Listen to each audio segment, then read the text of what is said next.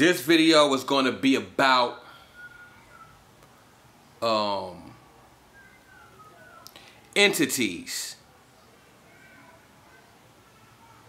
and free energy. So, there you go. Entities and free energy. So, let's talk about what an entity is. Okay, so if you want to go by the dictionary definition of what entity is, it just means thing, something, an idea, an ideal, a creation, something that's created. Okay? Something to that effect. A subject. So anything can be an entity.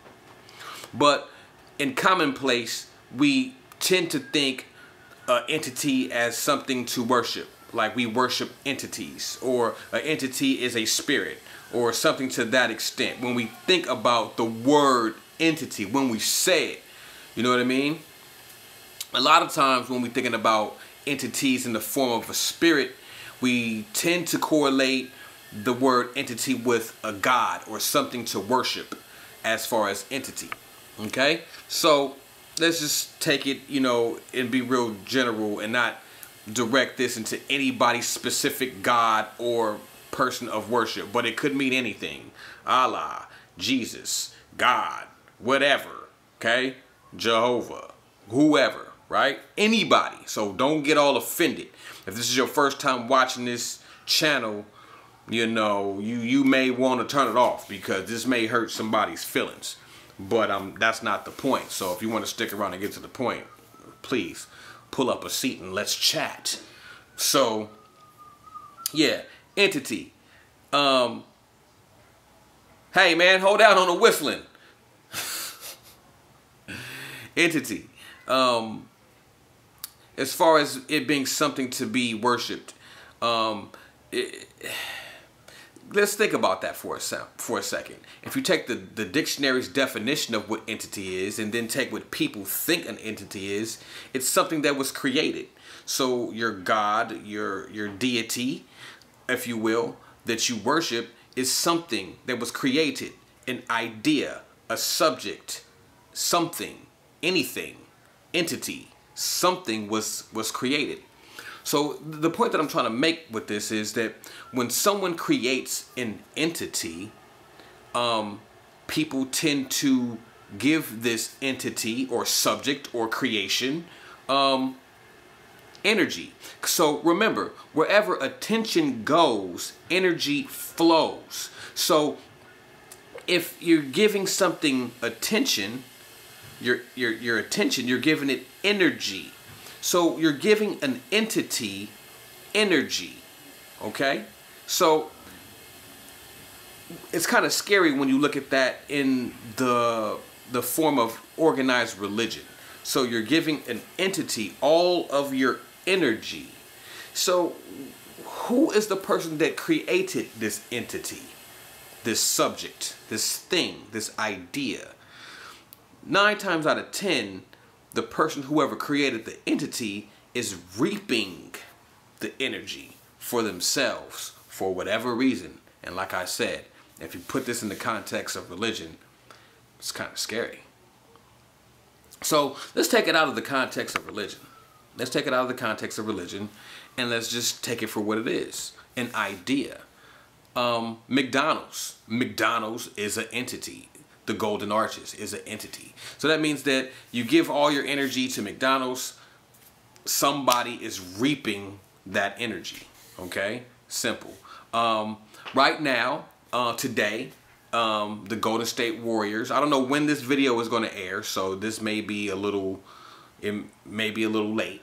But um, right now, the Golden State Warriors is in the championship, and a sports team is an entity. New the New England Patriots, though that's an entity. Um, the Los Angeles Lakers is an entity. Chicago Bulls, entity. Um, because it's an idea of something. So let's let's let's let's stop for a second and let's get away from McDonald's, get away well, we're going to continue on sports, but let's dig deeper into sports because that's kind of important here. It's, it's going to kind of drive my point home. So, when you're dealing with a sports team as an entity, something that you feed your your your attention to, there's always a color on the jersey.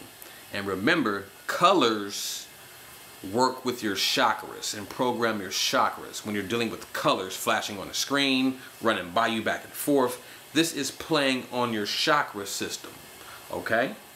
So the colors of a team is important when it's an entity because remember, it's something that someone created that they're creating for a reason. So there's a color.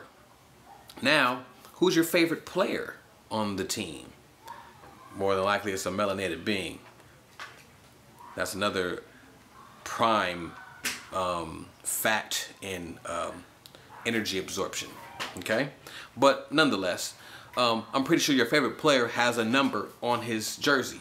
Numbers also program the psyche. This is what numerology is about because every number is a symbol that has a meaning. So number 27 on your favorite team whose colors is gold and purple is playing on a Monday. Remember, these games are strategically placed on certain days to reap more energy. Mondays is core every day is correlated with a planetary energy. So it's awfully funny and it's not by accident that these games are played on Sundays, Mondays, Thursdays, Fridays. You know what I mean? There's there's a reason for this because each day is connected to a planet which holds a certain energy. So now you have colors, you have numbers, and you have planets connected to an entity that you're putting all of your attention on. You know the stats, you know the history, you know the records. That's a lot of attention towards an entity that is not yours. I'll get to the point. Don't worry about it. So now someone is reaping this energy, right? Like, for example, in the Bay Area, the energy is high. The series is tied to two. The, the energy in the Bay Area is high. Everybody's like, go Dubs, go Warriors. It is what it is. So you can feel it. When you go outside, you can feel the energy. Everybody's juiced as fuck, right? They're juiced. Just like anything, like that has a current, you can dive in. Energy is a currency, just like money is energy. Do I have some money? Do I have some money? This is a piece of paper. Okay? This is a piece of paper. That's all it is. But what makes this powerful is that we've agreed ideally as an entity that this has value. So now as this energy moves from place to place, it has a current, just like currents in the ocean. That's an energy. It's a current. That's why they call it currency because it's a current of energy. Okay? Nonetheless.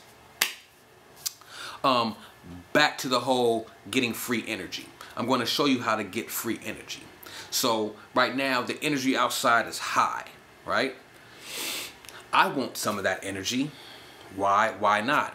Whoever owns the sports teams, they're reaping the energy and probably doing all kind of rituals with it. That's what they do. For what reasons? I don't know. But I want the energy so I can do what I do with it. So I can manifest. Energy plus melanin equals manifestation. Okay? So I want to manifest. How do you tap into the free energy? It's out there. It's there. It's high. It's with your thoughts. It's with your mental. All you got to do is own it. Take a piece of that energy. Meditate. Go deep into meditation. Focus on the energy. Feel it here. Own it. It's yours. Take it. It's free. Why not? If you have free PG&E, you know what I'm saying? I bet you'll take that. You know what I'm saying? If they left the PG&E on, you didn't have to pay the bill. I bet you take that energy. Well, this is the equivalent of that, but it's for it's energy for your soul. You see what I'm saying?